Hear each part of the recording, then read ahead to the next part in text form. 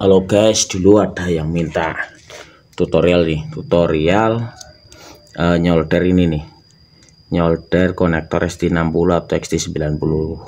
Pertama ini kita kupas nih. Kupas. Ini. Kupas. Nah, kita rapikan dulu. Gini.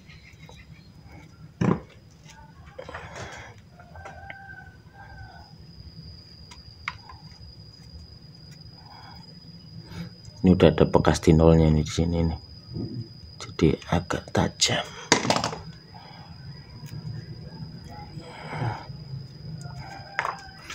Terus ini konektornya ini kita jepit di ragum gini nih. Nih gini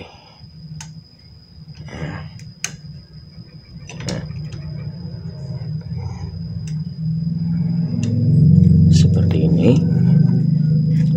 kita posisikan seperti ini nih. Eh, seperti ini berarti cukup. Jangan lupa tutupnya gini nih ini dimasukkan. Nah baru ke sini nih. Nah dimasukkan ini. Baru kita solder. Kurang maju ini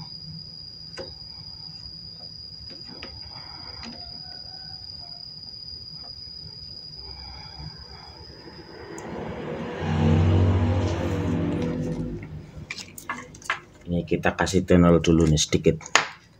Di bagian konektornya kita kasih tenol dulu sedikit.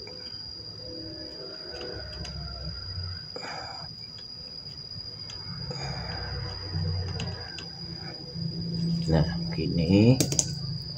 Baru kita masukkan sini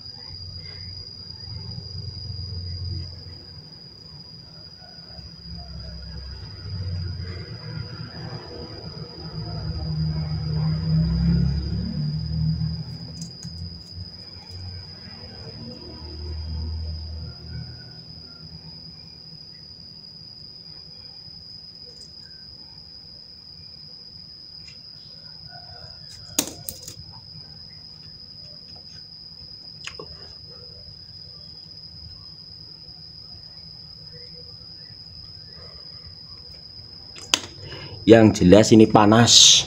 Soldernya juga harus solder ini nih yang 60 watt. Ini hasilnya pastikan solderannya itu matang bener-bener merekat. Kok jelek?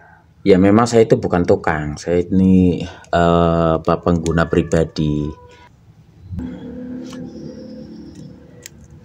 Uh, pastikan gak ada yang nyelewir kabel-kabelnya ini nggak ditambah ini heatsink juga nggak apa-apa. Nah seperti ini. Baru setelah itu kita pasang tutupnya ini. Nah, ini kebetulan saya kabelnya nggak ada ini adanya merah semua jadi saya tutup pakai solasi. Kalau ada kabel hitam satu merah ya pas sebenarnya ini. Positif negatif. Nah tutup. Ini sampai ngunci ada bunyi klik. Klik apa lagi? Pokoknya tutup lagi Sip, tangan loro ya. Nah, udah jadi seperti ini nih. Harusnya kabelnya ini hitam, saya nggak punya kabel hitam, jadi saya buat nih pakai merah semua. Ini udah jadi. Ya, ini ya, positif dan negatif. Sebenarnya mudah, yang penting soldernya itu uh, solder yang buatnya besar. Kalau bagus atau tidak hasilnya itu tergantung orangnya. Kalau saya dari dulu memang kalau buat apa-apa itu selalu jelek dan saya bukan tukang profesional